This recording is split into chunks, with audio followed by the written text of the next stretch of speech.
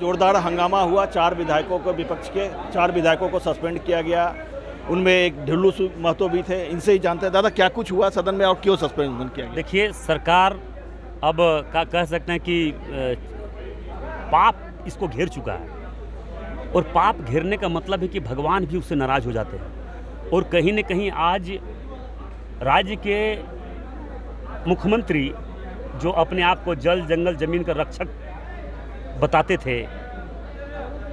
झारखंड के जन्मदाता शिबू सोरेन जी के पुत्र कहलाते थे।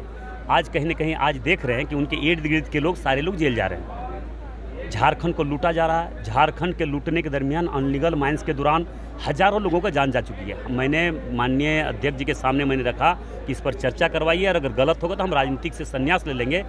अनलीगल माइंस के दौरान पूरे राज्य में कितने लोगों की जान जा चुकी है।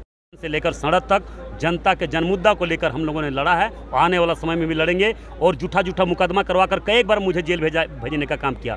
फिर अगर जेल भेजवाने का काम करेगा तो हम जेल जाने के लिए तैयार रहेंगे। मगर क्षेत्र के जनता के साथ धोखा, गद्दारी, लूटने के लिए छूट हम खास करके ढुल्लू मतो देने का काम नहीं करेंगे। मुख्यमंत्री पर जिस तरह से आरोप लग रहे हैं, उनके करीबियों पर आरोप लग रहे हैं, ईडी की कार्रवाई हो रही है, जेल जा रहे हैं तो क्या लग रहा है मुख्यमंत्री की अब तक चुप्पी क्या है? देखिए जवाब दे जवाब तो दे उनके इर्द गिर्द इंटू पिंटू चिंटू जितने थे सारे लोग तो जेल जा रहे हैं।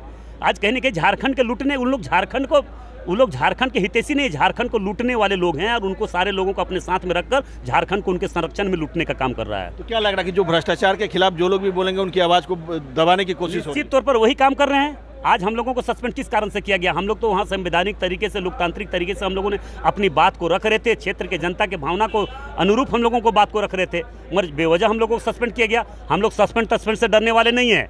हम लोग जन मुद्दा को जोरदार तरीके से रखे हैं, आने वाला समय में भी रखेंगे, और किसी से भी राज्य के जनता के हित में हम लोग को लड़ना पड़े तो हम लोग संघर्ष किए हैं, आने वाला समय में भी लड़ेंगे।